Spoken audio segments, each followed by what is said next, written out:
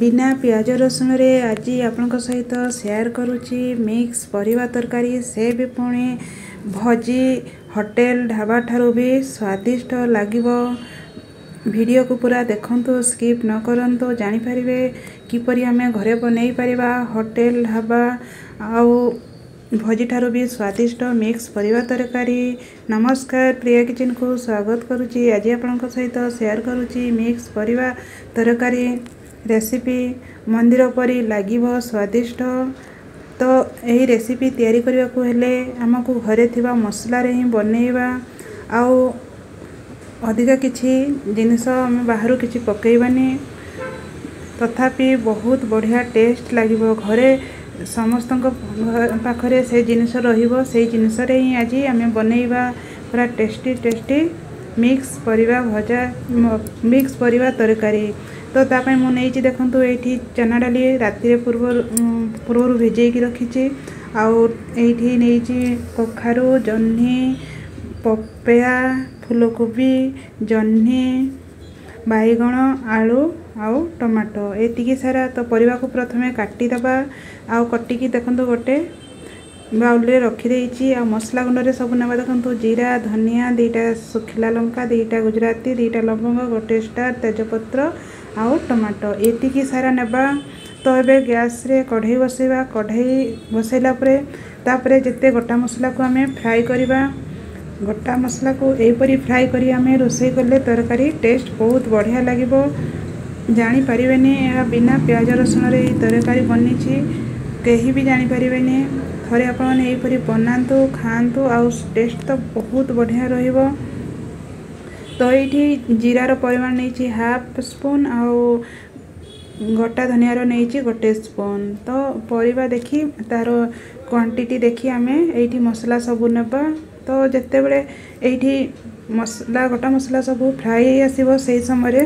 ଟମାଟୋକୁ କାଟିଦେବା ତ ଏଇଠି ଗୋଟେ ମିଡ଼ିୟମ୍ ସାଇଜ୍ର ଟମାଟୋ ନେଇଛି ଟମାଟୋକୁ ବି ଭାଜିଦେବା ତ ଟମାଟୋ ଯେତେବେଳେ ଭଜା ହେଇଯିବ ତାପରେ ଏହାକୁ ଆମେ ଥଣ୍ଡା ହେବା ପାଇଁ ଛାଡ଼ିଦେବା ତ ଏଇ ଦେଖନ୍ତୁ ଟମାଟୋ ଏଇଠି টিকিয়ে ভজা হয়ে আসিছি তো আউ টিকিয়ে আমি ভজা করিবা পুরা তার କଞ୍ଚାପଣ ଚାଲିଯିବ ସେ ପର୍ଯ୍ୟନ୍ତ ଆମେ ଭଜା କରିବା ଆଉ ଗ୍ୟାସ୍ର ଫ୍ଲେମ୍କୁ ଲୋ ରଖି ହିଁ ଆମେ ଫ୍ରାଏ କରିବା ତ ଏଇଠି ଏତିକି ଭଜା କରିବା ତ ଏବେ କ'ଣ କରିବା ନା ଗୋଟେ ଗ୍ରାଇଣ୍ଡର ଜାର୍ ନେବା ଗ୍ରାଇଣ୍ଡର ଜାର୍ରେ ଏଇ ମସଲା ସବୁକୁ ଦେବା ପ୍ରଥମେ ଥଣ୍ଡା କରିବା ତାପରେ ଗ୍ରାଇଣ୍ଡର ଜାର୍ରେ ଦେବା ଏଇ ଗୋଟା ମସଲାରେ ଅଳ୍ପ ପାଣି ଦେଇ ଚିକଣ କରି ବାଟି ଆଣିବା ତ ଦେଖନ୍ତୁ ଚିକଣ କରି ବାଟି ଦେଇଛି ତାପରେ ସେଇ କଢ଼େଇରେ ଆଉ ଗୋଟେ ଚାମଚ ତେଲ ଦେବା ତେଲ ଦେଇସାରିଲା ପରେ ଏଇଠି ଟିକେ ଆମେ ପୋଟଳ ଆଉ ଯେଉଁ ରହିଲା ଫୁଲକୋବି ତାକୁ ଟିକେ ଆମେ ଫ୍ରାଏ କରିବା ତ ଏସବୁକୁ ଟିକେ ଗୋଲ୍ଡେନ୍ କଲର୍ ହେବା ପର୍ଯ୍ୟନ୍ତ ଫ୍ରାଏ କରିବା ତ ଏପଟେ ଏବେ ଏସବୁକୁ ଫ୍ରାଏ ହେବା ପାଇଁ ଛାଡ଼ିଦେବା ଆଉ ଏପଟେ ଆଉ ଗୋଟେ ପ୍ରେସର୍ କୁକର୍ରେ ଆମେ ବସେଇବା ଏଇ ତରକାରୀ ଏଇ ତରକାରୀ ପ୍ରେସର୍ କୁକର୍ରେ ବସାଇଲେ ତା'ର ଟେଷ୍ଟ ବହୁତ ବଢ଼ିଆ ଲାଗିବ ତ କଢ଼େଇରେ ବସାଇଲେ ବି ଟେଷ୍ଟ ବହୁତ ବଢ଼ିଆ ଲାଗିବ ତ ଏବେ ଗ୍ୟାସ୍ରେ ପ୍ରେସର କୁକର୍ ବସାଇବା ପ୍ରେସର କୁକର୍ରେ ଏବେ ତେଲ ଦେବା ତିନିରୁ ଚାରି ଚାମଚ ତେଲ ଦେବା ଅନ୍ୟ ପରିବାକୁ ତ ଯେହେତୁ ଫ୍ରାଏ ହେଇନି ତ ତେଲ ଟିକେ ଅଧିକା ଦେବା ତେଲ ଦେଇସାରିଲା ପରେ ଟିକେ ହିଙ୍ଗ ଦେବା ହିଙ୍ଗ ଦେଇସାରିଲା ପରେ କାଶ୍ମୀର ଲଙ୍କାଗୁଣ୍ଡ ଦେବା ଏଇଠି ଗୋଟେ ବଡ଼ ଚାମଚ ଆଉ ଗ୍ୟାସ୍ର ଫ୍ଲେମ୍କୁ ପୁରା ଲୋ ରଖିବା ତାପରେ କାଶ୍ମୀର ଲଙ୍କା ଗୁଣ୍ଡ ଦେଇସାରିଲା ପରେ ସାଙ୍ଗେ ସାଙ୍ଗେ ଆମେ ବାଟିକି ରଖିଥିବା ମସଲାକୁ ଦେବା ମସଲାକୁ ଦେଇସାରିଲା ପରେ ଏଇଠି ଆମେ ମିକ୍ସ କରିବା ଆଉ ମସଲାକୁ ଭଲ ଭାବରେ ଟିକେ କଷିବା ମସଲାକୁ ଦୁଇରୁ ତିନି ମିନିଟ୍ କଷିଲା ପରେ ତାପରେ ଏଇଠି ହଳଦୀ ଦେବା ଗୋଟେ ସ୍ପୁନ୍ ଆଉ ଲୁଣ ଦେବା ଗୋଟେ ସ୍ପୁନ୍ ତ ପରିବା ଦେଖି ଏଇଠି ଲୁଣ ଆଉ ହଳଦୀ ଦେବା ତାପରେ ଏବେ ମସଲାକୁ ଆଉ ଥରେ ଭଲ ଭାବରେ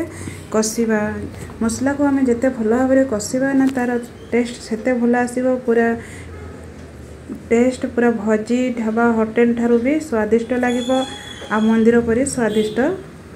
ଲାଗିବ ତ ଏଇ ଦେଖନ୍ତୁ ମସଲାକୁ ଏବେ ଆମେ ତିନିରୁ ଚାରି ମିନିଟ୍ ପର୍ଯ୍ୟନ୍ତ କଷିବା କଷି ସାରିଲା ପରେ ତାପରେ ଆମେ ଯେଉଁ କାଟିକି ରଖିଥିବା ପରିବାକୁ ଦେବା ଆଉ ଦେଇସାରି ଭଲ ଭାବରେ ମିକ୍ସ କରିବା ତ ଦେଖନ୍ତୁ ଏଇଠି ମସଲାରୁ ତେଲ ବି ଛାଡ଼ି ଯାଇଛି ସେହି ସମୟରେ ପରିବା ସବୁକୁ ଦେବା ଦେଇ ସାରିଲା ପରେ ଆଉ ଥରେ ଭଲ ଭାବରେ ମିକ୍ସ କରିବା ତ ଏହାକୁ ଆମେ ପାଞ୍ଚରୁ ସାତ ମିନିଟ୍ ପର୍ଯ୍ୟନ୍ତ ଆମେ ମସଲା କଷିବା ଆଉ ପରିବାକୁ ବି ଏହିପରି କଷିବା ତାପରେ କଭର୍ ଦେବା ତ ମସଲା ଏଇଠି ମସଲା ପରିବାକୁ ଯେତେବେଳେ ଦେବା ସେହି ସମୟରେ ଆମେ କ'ଣ କରିବା ନା ଆଉ ମଝିରେ ମଝିରେ ଦୁଇ ଥର କଭର୍ କରିବା ଆଉ ମସଲା ଆଉ ପରିବାକୁ କଷିବା ତ ଯେତେବେଳେ ଟିକିଏ ମସଲା ଆଉ ପରିବା କଷା ହୋଇଯିବ ତାପରେ ହିଁ ଆମେ ପାଣି ଦେବା ତ ଏଇ ଦେଖନ୍ତୁ ଥରେ ଏବେ ଖାଲି କଭର୍ କରିଛି କଭର୍ ଲକ୍ କରିନି ଆଉ ଥରେ କଭର୍ ଖୋଲି ମିକ୍ସ କରିବା ଏହିପରି ଦୁଇରୁ ତିନି ଥର କରିବା ଆଉ ଗ୍ୟାସ୍ର ଫ୍ଲେମ୍କୁ ଲୋ ଟୁ ମିଡ଼ିୟମ୍ ରଖି ହିଁ ଆମେ ଏହି ତରକାରୀକୁ କଷିବା ଯେତେବେଳେ ପରିବା ଆଉ ମସଲା କଷା ହେଇଆସିବ ତଳେ ଲାଗିଯିବ ପ୍ରେସର୍ କୁକର୍ରେ ସେହି ସମୟରେ କ'ଣ କରିବା ନା ଆମେ ପାଣି ଦେବା ତ ଏଇ ଦେଖନ୍ତୁ ପ୍ରେସର୍ କୁକର୍ରେ ଏଇଠି ଟିକେ ମସଲା ଲାଗି ଆସିଛି ଆଉ ତେଲ ବି ପରିବାରୁ ଉପରକୁ ଆସିଗଲାଣି ତ ସେଇ ସମୟରେ କ'ଣ କରିବା ନା ପାଣି ଦେବା ପାଣି ଏଇଠି ଦେଖନ୍ତୁ ପରିବାକୁ ପୁରା ବୁଡ଼ିବା ପର୍ଯ୍ୟନ୍ତ ଦେବା ସେତିକି ଦେଲେ ଆମର ତରକାରୀ ପୁରା ପରଫେକ୍ଟ ବନିବ ଆଉ ଯଦି ଅଳ୍ପ ପାଣି ଦେବା ପୁରା ଆମର ଗ୍ରେଭି ଗ୍ରେଭି ରହିବ ଝୁକଝୁକିଆ ରହିବ ତ ଏଇଠି ପାଣି ଟିକେ ଅଧିକା ଦେବା ଆଉ ଝୋଳ ରଖିବା ଝୋଳ ରଖିଲେ ଆକୁ ଭାତ ସହିତ ରୁଟି ପରଟା ନାନ୍ ପୁରୀ ସବୁ ସହିତ ଖାଇପାରିବା ବହୁତ ବଢ଼ିଆ ଲାଗିବ ଏଇଠି ଯେପର୍ଯ୍ୟନ୍ତ ପାଣି ପରିବାରରୁ ଗୋଟେ ଇଞ୍ଚ ଉପରକୁ ନ ହେଇଛି ସେତିକି ପର୍ଯ୍ୟନ୍ତ ଆମେ ପାଣି ଦେବା ପାଣି ଦେଇସାରିଲା ପରେ ଭଲ ଭାବରେ ମିକ୍ସ କରିବା ଆଉ ପାଣି ଯଦି ଆମେ ଏଇଠି ଟିକେ ଅଧିକା ଦେବା ତରକାରୀ ଆମର ପୁରା ଗ୍ରେଭି ଅଧିକ ହେବନି ଆଉ ଖାଇବା ପାଇଁ ବହୁତ ବଢ଼ିଆ ଲାଗିବ ତ ଏବେ ପ୍ରେସର୍ କୁକର୍ରେ কভর ଦେଇଦେବା ଆଉ ଦୁଇରୁ ତିନିଟା ସିଟି ହେବା ପର୍ଯ୍ୟନ୍ତ ଛାଡ଼ିଦେବା ଦୁଇରୁ ତିନିଟା ସିଟି ପରେ ବନ୍ଦ କରିଦେବା ଆଉ ଥଣ୍ଡା ହେଲା ପରେ ଦେଖନ୍ତୁ ତା'ର ଫାଇନାଲ୍ ଲୁକ୍ ଏହିପରି ରହିବ ତ ଏହିପରି ଗୋଟାଳିଆ ଥିବ ଯଦି ଆପଣମାନଙ୍କୁ ଗୋଟାଳିଆ ପସନ୍ଦ ନୁହେଁ ତାହେଲେ ଟିକେ ଢଙ୍କି ସାହାଯ୍ୟରେ ଟିକେ ଦବେଇ ଦେବେ ଆଉ ବହଳିଆ କରିଦେବା ତ ପୁରା ବହଳିଆ ବହଳିଆ ହେବ ଆଉ ବହୁତ ବଢ଼ିଆ ଲାଗିବ ଆଉ ଏପରି ହେଲେ ଗୋଟା ଗୋଟା ରହିଛି ଖାଇବା ପାଇଁ ବି ବହୁତ ବଢ଼ିଆ ଲାଗିବ ପୁରା ହୋଟେଲ ବା ଢାବା ପରି ଏଇ ତରକାରୀ ଦେଖାଯିବ ଆଉ ସ୍ୱାଦ ପୁରା ମନ୍ଦିର ପରି ଲାଗିବ ତ ଯଦି ଆପଣମାନେ ଗୋଟାଳିଆ ରହିଛି ତାହେଲେ ଆପଣ ଡଙ୍କି ସାହାଯ୍ୟରେ ଟିକେ ଦବେଇ ଦେବେ ହେଲେ ବହଳିଆ ହେଇଯିବ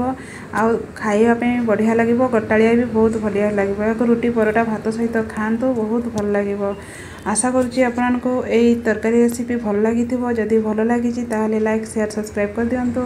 ପାଖରେ ଥିବା ବେଲ୍ ଆଇକନ୍କୁ କ୍ଲିକ୍ କରନ୍ତୁ ଯେତେ ନୂଆ ରେସିପି ତିଆରି କରିବି ତା'ର ନୋଟିଫିକେସନ୍ ସର୍ବପ୍ରଥମେ ଆପଣମାନଙ୍କ ପାଖକୁ ଯିବ ଥ୍ୟାଙ୍କ ୟୁ